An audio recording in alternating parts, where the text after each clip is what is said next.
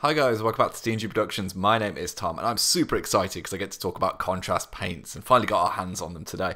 Now, I really was interested as a non-painter to see what these paints can do because they're really marketed as like it's like talent in a bottle that the inks used to be.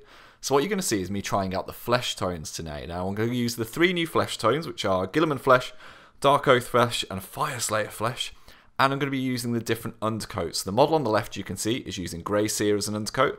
The model in the middle is using the new Wraithbone, and the one on the right actually was undercoated the dwarf with Zandri Dust with a Zenithal of Grey Seer over the top, because I wanted to see how these contrasts would go over the old undercoats. So, I'm using regular Army Painter Regiment brush, and you can see here we're going to start with Guilliman Flesh, and first thing I'll say is these paints go on really easily. You'll notice that I'm painting from the lid rather than from the pot, and actually on retrospect I would make a really big recommendation to actually just go straight from the pot to the model, which is how they market it, and actually I think you really can slop this on and get really good results. But what you'll be able to see here is how I've left it, and when it dries, I'll show you what it looks like afterwards. So that was the Grey Seer. This is the Wraithbone, and honestly, for the Guilliman Flesh, I think I prefer it going on the Wraithbone. Now, the Wraithbone is supposed to be used for like a warmer tone, and I think that goes really well with this flesh colour. I think Guilliman Flesh is going to be the one you use the most. It's going to be the one that comes out for your Space Marines, for your Stormcast Eternals. It's going to be great. And speaking to my local store, the uh, Brickcraft in Southport, they were suggesting that actually this is probably going to be the one that is going to be flying off the shelves the most, and I think they're going to be right with this. So you can see the Dwarf with the Zandri Dust. I just want to see how the paint would go, and actually the reason I'm showing you at the start the undercoats is because they are satin undercoats, the Grey Seer and the Wraithbone, and honestly the paint does go on smoother. Uh, you'll notice here that I kind of go on a little bit further on the legs and the body where it's going over the Zandri Dust. So we're going to cut ahead in a second and we'll show you what they look like dried. Here they are. So the Grey Seer here with this Barbarian, you can see has gone on really, really nicely. I think probably a thicker coat be necessary, but you can see it has done exactly what it says. It's shrunk into the recesses and highlighted the kind of areas that need it. However, you can see the Wraithbone on this model is fantastic. I think that's a really healthy tanned flesh tone, as they call it. The Dwarf I'm relatively happy with. It shows me it can go on the old undercoats, but to be honest, I'm so impressed with Seer and Wraithbone, I think I'd keep it that way. Now, we're going to move on to the second flesh tone here, which you can see is Darkoath Flesh. So you can see the Grey Seer model with the sword here. We've got the Wraithbone, which is the leader of the Godsworn Hunt. I can't remember her name now, but she's amazing. And then another dwarf that's got the Zandri Dust with the Zenithal over the top of it. Now, the Darkoath Flesh is a slightly darker tone. Obviously, I'm going from light to dark. However, it actually goes on a little bit smoother than I was expecting. Now, the model that you can see me painting here is probably my favourite outcome, and you'll see in a second. I've kind of grown in confidence as I've used it. This is literally my first time using the contrast paints, and I'm deliberately using the Regiment Brush because I think it's the way everyone else will use this. So I start slopping it on in a bit more detail, and I think that's actually what gets me my better results. So again, that is probably a good recommendation there.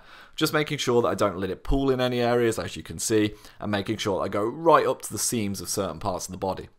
Now going on to the Wraithbone model here, this model's quite tricky. I think obviously with these contrast paints, they need to go over models that have got a lot of recesses because any flat areas, if you've looked at other YouTubers and what they've done with Power Armor and Stormcast Eternal Armor, it requires a little bit of work because it wants to stretch over those due to the opacity and due to the kind of tensile strength, is it? Whatever it is, viscosity. Um, these models here are full of musculature detail, and I think it's really valuable just to see how the different colours sit on the different undercoats. So you can see me finishing off the Darkoath Flesh here. It's going on relatively nicely over the old Zandri Dust with the Wraithbone, uh, sorry, the Grey Seer Zenithal. And actually, you'll see here that in this account, I actually quite prefer the Grey Seer undercoat on this model here. I think the Darkoath Flesh gives it a really, really nice undertone, especially on the model. I think this mod miniature is beautiful.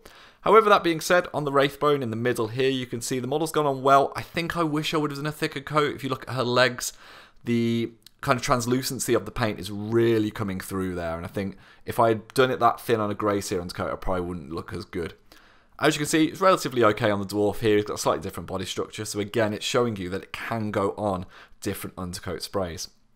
Finally, we're going on to our last flesh tone for the humans, that is, and this is going to be Fyreslayer Flesh. Now, this is a darker tone, and I think you can really get away with putting this one on quite heavy. So for this one, I've only done it on a Grey Seer undercoat, partly because I was running out of Godsworn Hunt models, and also partly because actually this dwarf that you'll be able to see has been zenithal with the Wraithbone. So slightly different, hopefully that'll give you the indication there of the slight differences. Now, as you can see, the confidence is improving here. I'm really shaking the pot to make sure that the lid is full of paint and making sure they get good sheen.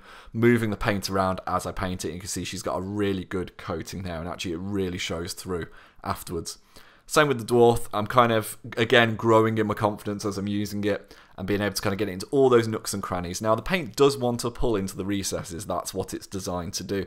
However, as long as you keep making sure you move it around, that's fine. I don't think I'd recommend painting a second coat of the flesh tone. I know some people have recommended that. I don't feel confident in that, and I'll show you when they come onto the orcs exactly why. But this is the finished article. So on the grey seer undercoat, you can see we get this beautiful darker skin tone. And actually, I think for other game types that have uh, greater variant, shall we say, of skin tones, especially like the Godsworn Hunt with Shade Shadespire or Nightvault, this skin tone adds a little bit of variety in your warband. And I think, you know, they've now got three slightly different skin tones, and I'm really going to play with the browns and the colours that go on their armour as well. Now, obviously, it's our channel, so I couldn't leave it with just human flesh tones. I've got to give the orc uh, flesh a go. So this just went on the grey seer, and this was simply because I think I'm leaning towards the grey seer as the undercoat. I think it's the more natural one. You know, people tend to undercoat in grey anyway.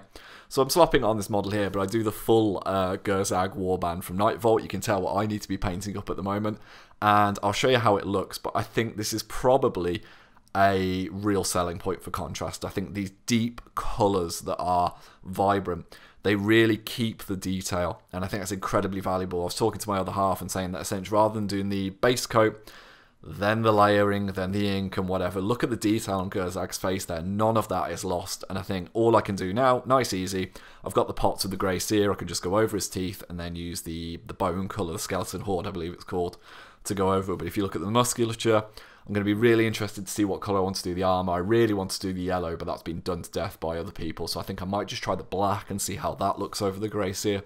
But you can see the grey seer offers a fantastic cool palette and I would love to try actually the Wraithbone underneath, but I think with the Orcs, the green is such a strong tone. You look at the muscles and the fingers, it really, really comes through fantastically well. So at the moment, I've got nothing bad to say about the contrast paints. I am by no means a solid painter and by no means a quality painter. And this has really given me a hell of a lot of confidence painting things that I'm usually really, really struggling with. So that brings us to the end of looking at these contrast paints. I want to say a massive thank you to both Games Workshop and, as I said, our friendly local gaming store, store the uh, Brickcraft in Southport, for providing these a little bit early to get some videos out to you guys. If you are interested in supporting that store, they are amazing people. There's a link in the description below. I think they're actually going to run a competition for this video where they're going to be giving away a Know No Fear or Tempest of Souls box.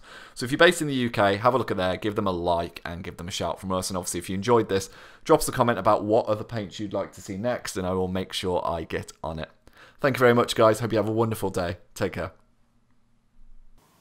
Hi guys, thank you very much for watching our content. It means the world to us. If you'd like to see some more videos, they should be over here. And if you'd like to support our channel, keep these lights on. You can find links to our Patreon and merchandise in the description below. See you later.